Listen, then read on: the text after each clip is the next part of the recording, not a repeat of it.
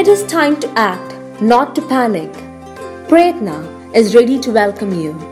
Make sure that you have hand washed before entering Prayatna. We'll check your temperature using a thermal scanner. And we also maintain a declaration form, a logbook, to record your details. It is very important to maintain social distancing in the waiting area.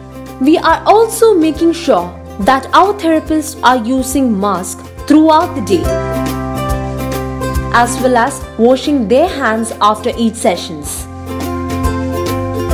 Yes, we are also cleaning surfaces that comes in contact and the equipments or materials after each use. We also maintain hygienic environment by cleaning the corridors, rails and doorknobs. Distance never keep us apart. Our therapists are actively participating in online sessions to help you out. It's time to take a step further and the time to move on. Be safe and come again.